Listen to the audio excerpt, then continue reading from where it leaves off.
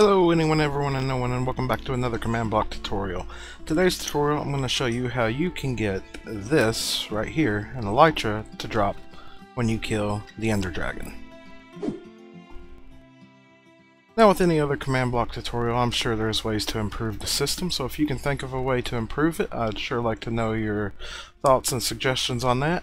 And if you have any other ideas for command block tutorials, make sure to drop them down in the comments and we'll see if we can come up with something for that.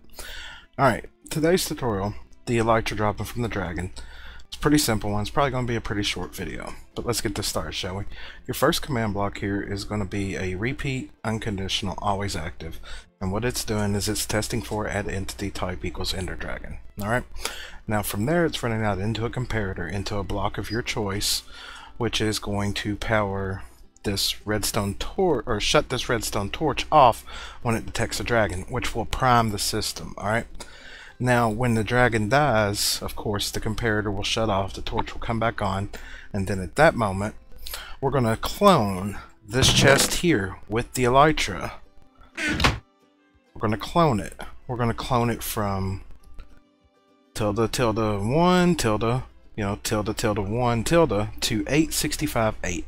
Alright, now you can use whatever relative coordinates you want there. You could put it at 0650 that will put it directly above the the portal gateway the problem with that is sometimes the Elytra will drop into the portal and then back up in the overworld.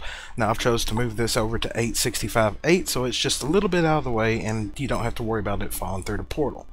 Alright, from there we're going to set a block at 865.8 air 0 destroy.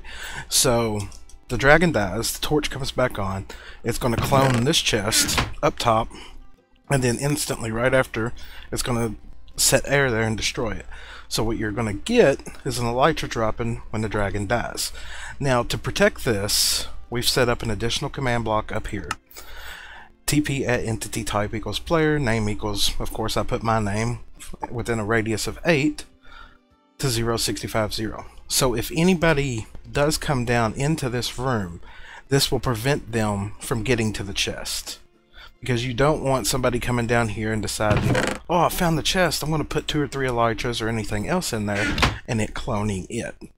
So what you would do with this is you would set this to imp, uh, repeat, unconditional, and always active. That way if anybody else aside from the admin, your command block guy, the player you chose that does your command blocks. If anybody else got near this, it would TP them out of the area. Now, I've done some testing with this. It doesn't appear that this needs to be in a ticking area, so you don't have to worry about that. And we've chose to put this in the end underneath of the portal area. So it's a pretty nice system. I mean, you could go ahead and bedrock this room out, put barrier blocks up, whatever you wanted to do. But that covers that. So just for a little bit of a demonstration, Hello Vivid, how are you doing? We're going to come up here and we're going to summon Ender Dragon. Just to see the system works. Alright, you could do it with end crystals. Obviously, if you're going to be playing in survival, you're going to be doing it with end crystals. So we've got our Ender Dragon here. So we're not going to wait for Vivid to kill it. So what we're going to do is we're going to kill at entity type equals Ender Dragon. And the Ender Dragon would die, you would get your XP raining down, and then of course over here to the side, you would get your single Elytra. Now where we were just playing with the chest down there, that's a prime example of why you don't want somebody playing with it. We currently have two.